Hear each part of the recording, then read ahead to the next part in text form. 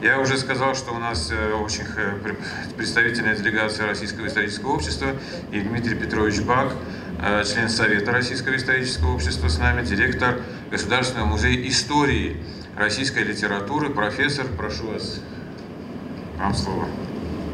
Барагдес, добрый день, уважаемый Айк Борисович, Александр Владимирович, Константин Ильич, дорогие друзья, уважаемые коллеги. Я счастлив снова быть братской Армении. И, конечно же, тот повод, который нас сегодня собрал, а, это замечательное а, событие, Шаканская битва.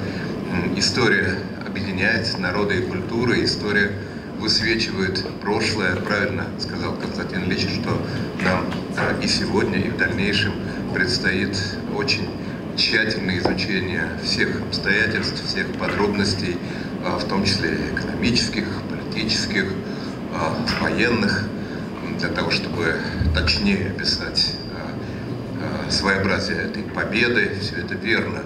Но в одном смысле была одержана победа, безусловная, в символическом смысле, в духовном смысле, потому что мера победы не сопоставима бывает с потерями или, наоборот, с трофеями, с приобретенными территориями, потому что в этой битве все сошлось. И русская цивилизация, армянская цивилизация, восточное христианство. Не случайно э, Мерсес Штаракаци, к могиле которого мы сегодня возложили цветы, возглавлял отряд армянский, который, собственно говоря, важнейший вклад в эту битву внес, затем стал католикосом. В этом смысле, конечно, была одержана победа.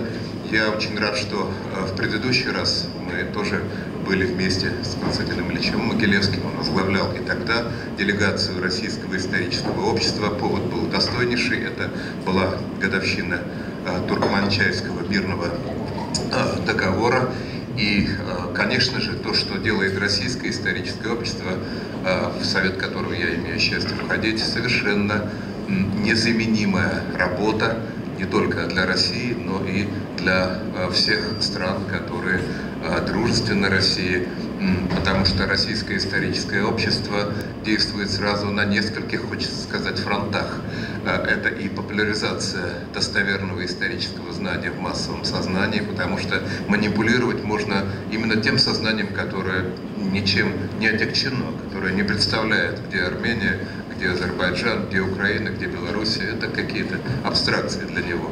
А, кроме того, это профессиональное знание, историческое образование и, конечно, музейная работа. Тоже я возглавляю крупнейший в России музей истории российской литературы.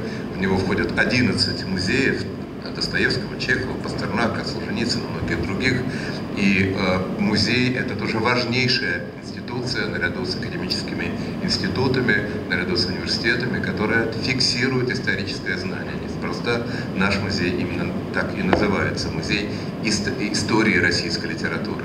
Э, правильно э, было сказано, что юбилеи, важные даты становятся толчком для актуализации того, что до поры до времени, ну, вроде бы локализовано только э, в прошлом. История не только высвечивает прошлое, но история строит настоящее. Совершенно безусловно, наш музей уже 6 лет носит имя Владимира, Владимира Ивановича Даля, русского писателя, лексикографа, мореплавателя, воина, доктора, врача, этнографа и, и, так далее, такой синтетической фигуры. А вот э, сейчас мы вдруг вспомнили, я-то никогда не забывал, потому что я 32 года э, преподаю в университетах литературу, что Владимир Даль, э, казак Луганский, он родился в Луганске, это удивительная синтезирующая фигура.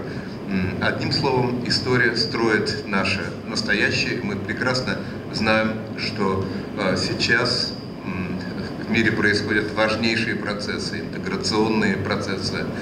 А диалог цивилизации вступил в свою решающую фазу. Это очень драматичные а, события. И, конечно, задача всех историков, филологов, культурологов, духовных лидеров и священнослужителей приближать будущее. История не только высвечивает прошлое, история не только строит настоящее, но история приближает будущее. И мы, конечно, убеждены, что в этом будущем а, Россия и Армения будут рядом, будут ощущать а, многостолетнее братство будут работать во имя мира, во имя стабильности. И это одна из наших сегодняшних задач. Я очень счастлив быть, еще раз скажу, на сегодняшней конференции. Большое спасибо, дорогие коллеги. Шнурковый Спасибо, Дмитрий Петрович.